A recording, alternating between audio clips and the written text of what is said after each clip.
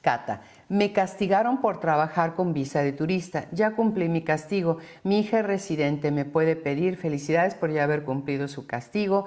Eh, quizás ya pueda pedir otra visa de turismo si ya han pasado los años que le dijeron que no podía viajar a Estados Unidos y le cancelaron su visa. Más una hija residente, Cata, no la puede pedir. Dígale a su hija que se haga ciudadana cuando sea elegible. Al ser ciudadana estadounidense puede pedir a una madre. Entonces, en este caso, tristemente su hija residente no la puede pedir hasta que se haga ciudadana naturalizada.